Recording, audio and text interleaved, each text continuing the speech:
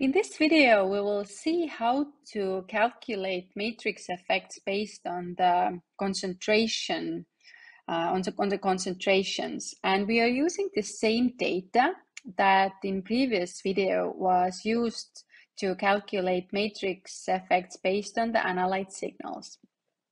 So here we have analyte signals that are measured in post-extraction spiked matrix for methiocarb sulfoxide in tomato. And it's done at one concentration level. And we also have a calibration curve in the solvent.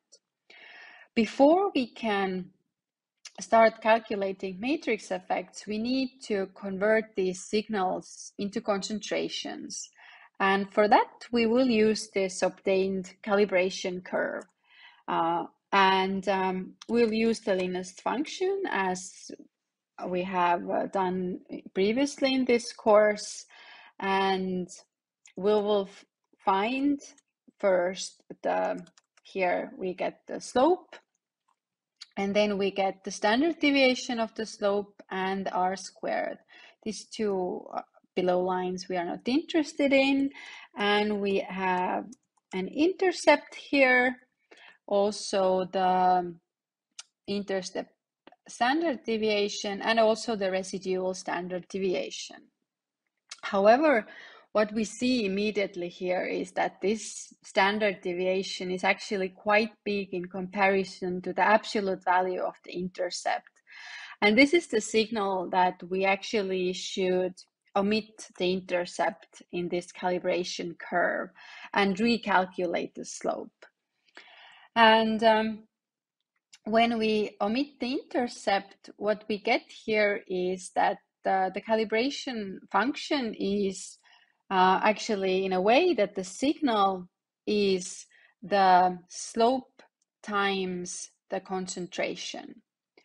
And now we can use this function to calculate the concentrations in these uh, spiked samples. So the concentration calculated. And because we haven't done any modifications uh, to the units, we will have the same units uh, for this as we had initially in our calibration curve.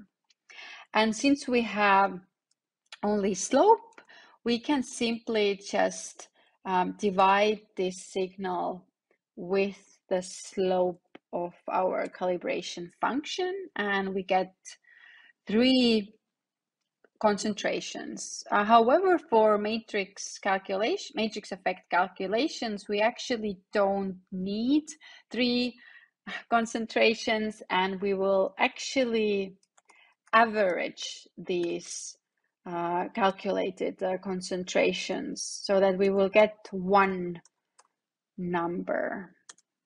And the unit will remain the same so 0.0494 uh, milligrams per kilogram. And now using this formula here we can calculate the matrix effects uh, you always have to make sure that the units are the same. And in case they aren't, you definitely have to convert, make the conversion um, to calculate the matrix effects um, in order to, before calculating the matrix effect. And so what we will do here is with the analyte concentration found, we will uh, divide with the concentration that we spiked with. And also if we multiply with 100, we will get the percentage. And so what we get here is the matrix effect 23.6%. And based on this number, it is a significant suppression. We can easily see that. And it was also the result for results when the signal when the matrix effect was calculated based on the signals. However these numbers are not identical. And one of the reasons of course is that right now we use the whole calibration curve with all the calibration graph points, while for the signal, um, we only used the signal uh, for the calculation of the matrix effect, we used the signal on the exact same uh, concentration level and omitted all the other points. So we now have a, this averaged uh, calibration curve. So this will have an effect.